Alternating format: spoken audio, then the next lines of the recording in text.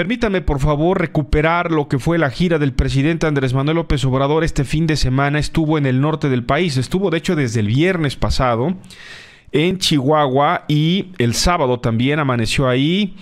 El domingo, ayer estuvo en Sonora.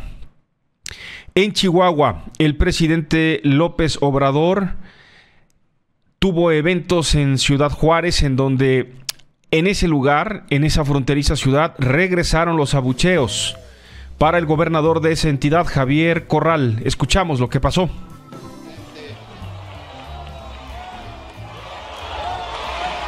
Señor presidente Andrés Manuel López Obrador,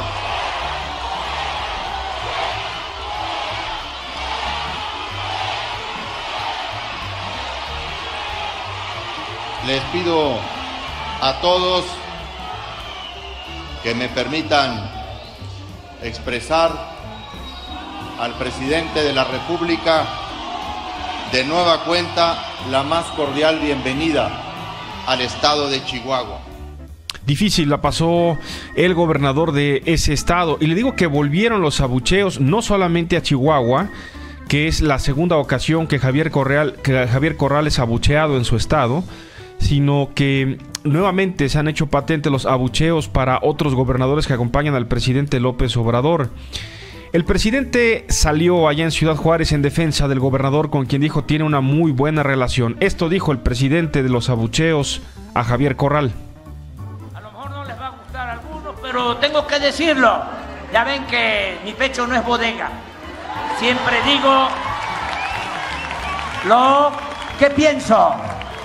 Aquí tenemos buena coordinación con Javier Corral, gobernador de Chihuahua.